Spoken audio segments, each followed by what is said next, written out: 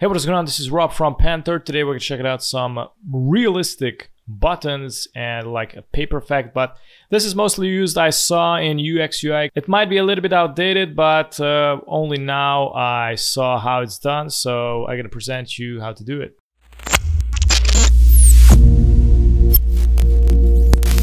Alright, first step I gotta click on the stroke, click on none, click on the fill.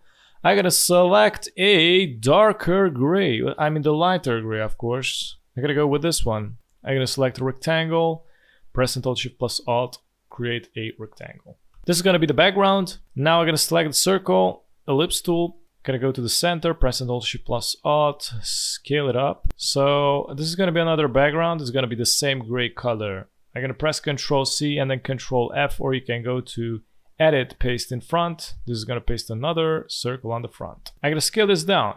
Press and hold shift plus alt scale it down. Let's see the difference. So the distance needs to be something like this. And i'm to go to the gradients activate the gradients.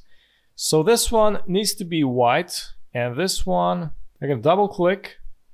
And I won't select this gray, I'm gonna select something darker. I'm gonna go somewhere with this. I'm gonna try it out with this one. I think previously I tried with something lighter, but let's test this out.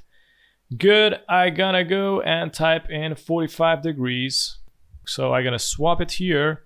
Reverse gradient, there you go. Press Control C and then Control F. I'm gonna scale it down a little. And I'm gonna swap it here. So here is gonna be the dark, here the light. I'm gonna select this, the other one, press and hold Shift and also select the background circle.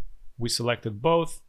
Go to Object, go to Blend, Make, double click on the blend, select specify steps. I'm gonna go with 300, click on OK. Let's see what happened. Oh, there you go. This is it.